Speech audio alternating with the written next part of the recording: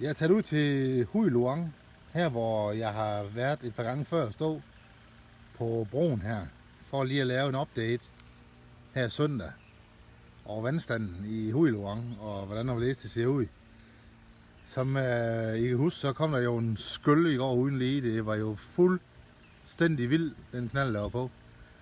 Og øh, det gør jo, at jeg lige synes, at det var værd at tage ud og tjekke, om det har lavet nogen former for skade på, på øh, området her med hensyn til vandstanden i Huiluong. Det har det ikke umiddelbart. Den er stadigvæk meget høj, fordi vi er jo også i regntiden, og de prøver jo på at lukke vandet ud af floderne her, sådan stille og roligt. De, de kan ikke bare lukke helt fuldstændig op nede ved Bangkok, så bliver hele lort oversvømmet på en gang. Så øh, den fart, vandet har på ud af, af Isaren, det er sådan, sådan, sådan, sådan, så det ikke lige bliver oversvømmet her, og det kan sådan lige følge med dernede til at trække det vand, der kommer. Så det er øh, et håb om, at der ikke kommer alt for store skyld på en gang. Det må gerne regne tit, det gør ikke noget, men det må bare ikke være alt for store skyld, der lige kommer på en gang her i regntiden.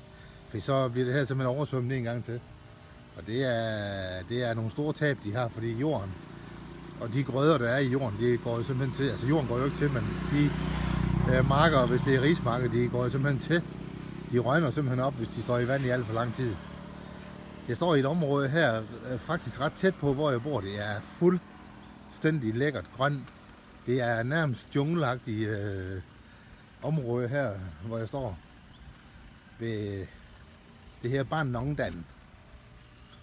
Prøv at se en gang, hvor natur og himmel, og når man så lige med vand og noget jungle, får det hele blandet sammen i et billede her. Altså det er det, som jeg kalder Thailand.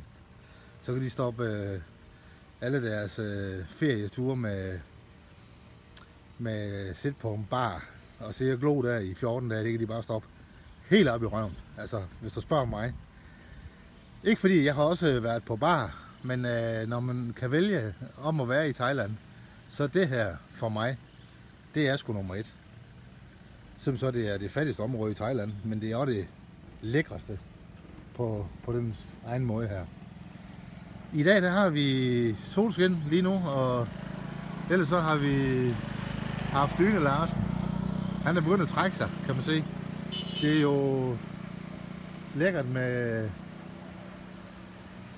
få skyer. Der er lige noget blomkål og blomkål og vattæpper. Og ellers så, så er det klar himmel og solskin. Og det gør jo, at øh, vi har nogle temperaturer på, en par, på omkring et par 30 grader. Jeg kan godt lide for eksempel, når træerne de gør sådan der, de, øh, det her kører. Når de har sådan nogle øh, planter, der gror fra jorden og så opad. Det synes jeg ser skige godt ud. Det ser sådan helt naturligt ud. Når man har sådan en, et træ som det der.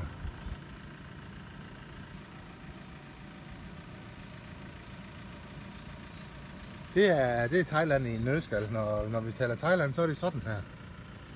Det er Thailand. Det er det rigtige Thailand.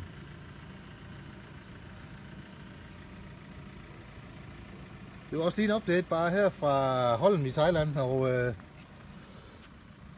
jeg forsøger jo selvfølgelig at update lige så hurtigt jeg kan komme til at komme ud af døren og få lavet nogle updates, så er jeg jo den, der vender tilbage lige så hurtigt som det er muligt. Og her vil jeg så sige tak for lige nu her søndag formiddag. Og øh, dem i Danmark, de ligger jo og sover endnu, men øh, dem der er i Thailand, de kan jo enten tage en morgenøl, morgenbajer, hvis man er i sted, hvor det foregår. Og ellers så kan man jo tage en morgenkaffe. Eller så bare tage en slapper. Om ikke andet, så i hvert fald være god ved konen, fordi konen, hun er guld værd. Uanset vejr og vind. Det er godt. Vi ses. Hej.